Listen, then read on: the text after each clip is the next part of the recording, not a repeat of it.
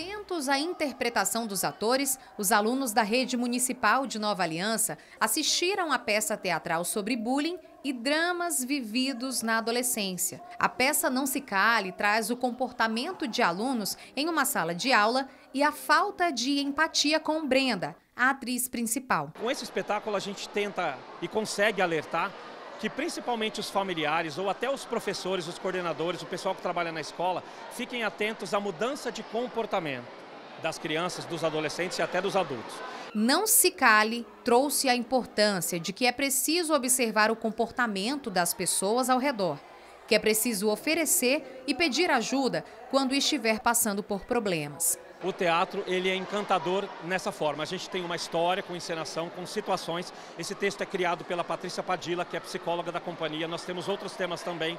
Então ela faz uma pesquisa muito extensa sobre o assunto, assiste muitos vídeos tutoriais e a gente chega numa conclusão de que é preciso falar de uma maneira direta, claro que da maneira lúdica também, sobre o assunto. O intuito desse trabalho é, com, com as escolas é que, de forma lúdica, é que pare com os bullying, porque eu tenho filho na, na, escola e sei que ele já passou por isso na escola. Então, assim, é um alerta, né? Para que pare. E eu acho que essa forma é a forma mais interessante de trabalhar com eles, essa forma lúdica.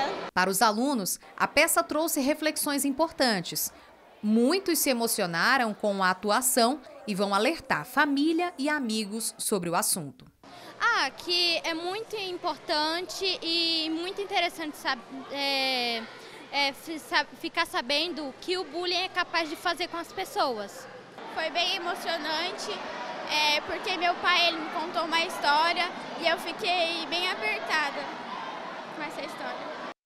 E você percebe que esse tipo de linguagem funciona quando você tem esse tipo de reação por parte das crianças, não é verdade? Se identificaram com isso. Então, funciona. É uma forma de ensinar, de educar e de evitar futuramente.